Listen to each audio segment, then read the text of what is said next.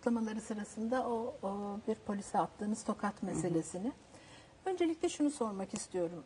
Ee, Öcalan acaba ne düşünmüştür o resmi gördüğünde? Eline sağlık Sabahat Bacı senin vurduğun yerde gül biter demiş midir mesela? Belki bir gün fırsatınız olur. Siz Sayın Öcalan'la bir e, böyle bir program yaparsınız. Kendisine sorarsınız. Türkiye kamuoyu da bunu merak e, e, şey merakını gidermiş olur. aşağı yukarı du- Ee, yani tabii bu tü-. Türkiye'de çok tartışılan bir e, konu oldu ama sadece görüne, görüntü tartış